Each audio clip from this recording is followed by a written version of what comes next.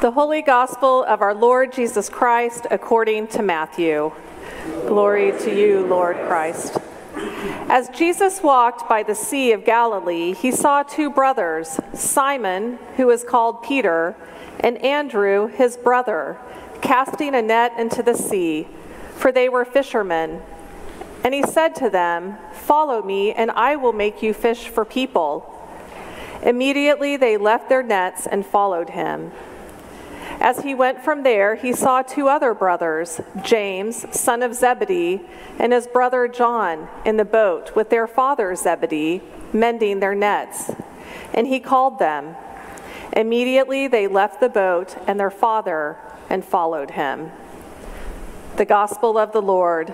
Praise, to you, Lord Christ. In the name of God, Father, Son, and Holy Spirit, Amen. Amen. Please be seated.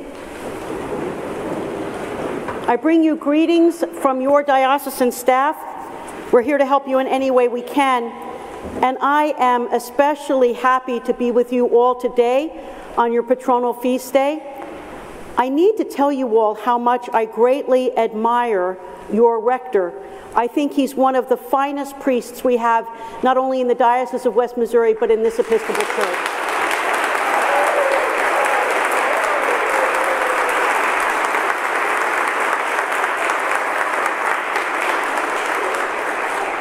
Our beloved Archdeacon is a friend to many, especially me. And all the clergy here, every single one, both active and retired, are all just top drawer. Drawer. D R A W E R. Drawer. And, and for those of you that are wondering, yes, it's northern New Jersey, it's not New York. Okay. and all of you, as your bishop, I want to thank you for your faithfulness to this amazing church and its many, many ministries, and to your loving care for each other and for this diocese. You make my heart full. So, this is going to be the shortest sermon you've ever heard preached because, well, we've got a lot of confirmations today. And when I do them, it's kind of like halftime at the Super Bowl, but I'm not Beyonce. And I, I should clarify uh, that this is more, this sermon, this is what I'm about to share is more of a thank you all to you uh, than a sermon. Well, maybe a little bit of a sermon too, just a little bit.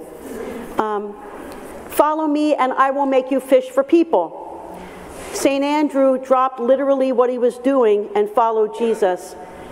He dropped one actual net to pick up a metaphorical one. I can't help but think that he had no idea what he was getting into. I also can't help but think about his family and friends. They must have been saying to themselves, What happened to the fish he was fishing for? What happened to his boat and his nets? Had Andrew lost his mind? Has, has, did, did he go wonkers? What? No, no, no, no. You see, Andrew was drawn to something so much bigger than himself.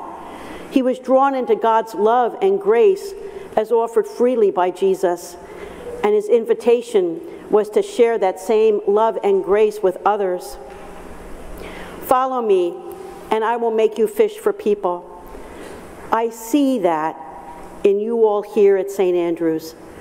You know, as we celebrate this patronal feast day today, I'm struck by how you all are not only caring for each other here at St. Andrew's through your ministries with children, youth, 20s and 30s, adult Christian formation, music and worship, but how you are casting your net out into the community with the opening of HJs, which is an incredible outreach into the community. I think it's the most rocking thing I've seen in a long time.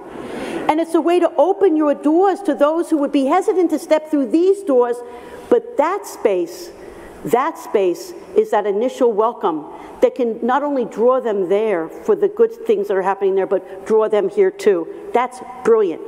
Brilliant.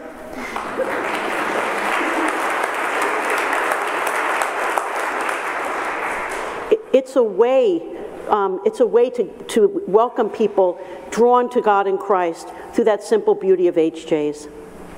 Follow me, and I will make you fish for people. I want to ask you all to please continue to cast your nets wide, to share God's love and grace with all who come through these doors, HJ's doors. And well, let me just push a little bit. In your daily lives, as you leave this sacred space each week, take a little Jesus with you. Take a little Jesus and spread the love. And know that I am grateful for each and every one of you and the difference you are making in this neighborhood and beyond. Know that you all are and will continue to be in my thoughts and prayers. Know you are much loved as you cast your nets out to bring more and more people to know God and to make God known. Thank you, and amen.